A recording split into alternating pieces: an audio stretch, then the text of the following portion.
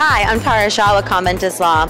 It's now the last day of the INTA conference, and as you can see, we can finally see the light at the end of the tunnel after day after day of rain.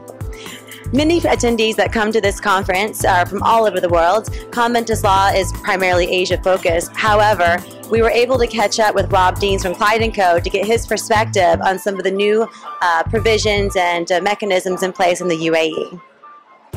Hi, I'm here with Rob Deans, Head of IP in the Middle East with Clyde & Co. How are you today? Very good, thank you. I have a couple of questions for you. My first um, question has to do with the new draft law. Um, my understanding is there is a new draft law in the UAE that deals with the export of seized counterfeit goods. Can you share with us some of the highlights about this draft law? Yeah, sure. There's a, uh, draft law which uh, came out originally in uh, uh March last year, uh, and that's been going through the, the process in Dubai, or the UAE rather, for the last 12 months.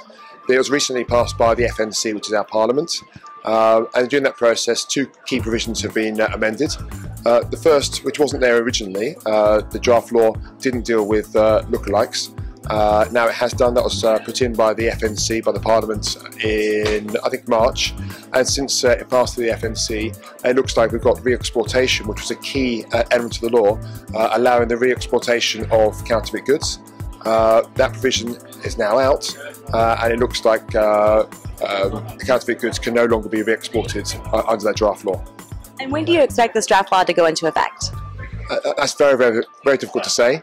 The, uh, the draft law that I can use it maybe as a comparison is the companies law. Um, that was passed by the FNC in, I think it was May last year. Um, that is now back with the ministry for uh, further amendment consideration and will go off to the, the ruler in due course. That has that, that process has not yet been completed with the companies law, um, and with the draft uh, anti-commercial fraud law dealing with the counterfeits. Uh, that's now back with the ministry, and frankly, we don't know how long it's going to take uh, to come into law. I want to turn our focus to social media. It's been a theme here uh, that's been discussed throughout the conference. You know, social media seems to have created a new platform for online counterfeiters, and it's a problem that uh, we specifically hear about in Asia, or especially here in Asia and other parts of the world. Do you see this becoming a problem in the UAE as well?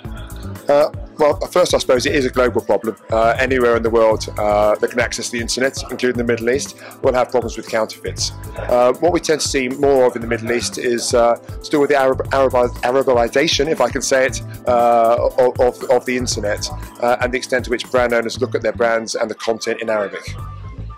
Um, and on a lighter note, will we see you at the closing ceremonies at Disneyland tonight? Yeah, I was there a couple of years ago with my family, and I'll certainly be there. It's a great place to host closing ceremonies. Yeah. Oh, oh yeah, uh, absolutely fantastic venue, and uh, I've heard uh, the conference has got it to itself, which is uh, really quite something. And one last question for you: Will we see you in my hometown, San Diego, next year for the INTA conference? Uh, yeah, I was uh, at San Diego last time around, and I'll be there this time around as well, for sure. Excellent. Thank you so much for your time, Rob. I do appreciate it. Brilliant. Thank you.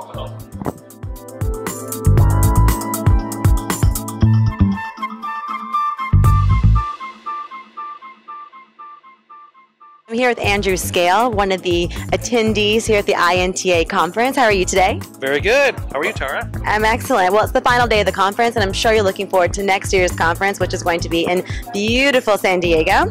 Can you tell us from your experience in San Diego, uh, what are some of the things apart from the conference that attendees can expect to do or see while there? Well, there is an unlimited number of things you can do in San Diego. Of course, the world famous beaches exist, so anyone could enjoy the, the surf and sand.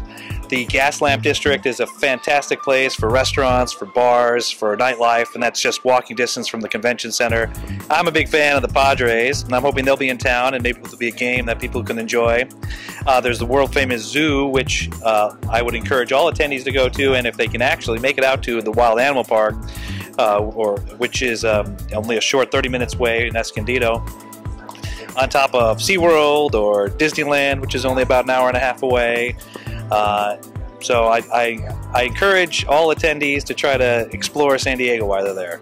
And I can personally attest to the fact that the Padres is an amazing team, definitely a fan, and that San Diego is a very beautiful city. Thank you so much for your time. We do appreciate it, and I hope we see you at next year's INTA conference. Definitely, thanks. It's the end of the final day of the conference here at the INTA meeting. Um, hopefully, you enjoyed our coverage, our daily updates as well. Um, we hope to see you next year in San Diego at the 2015 INTA conference.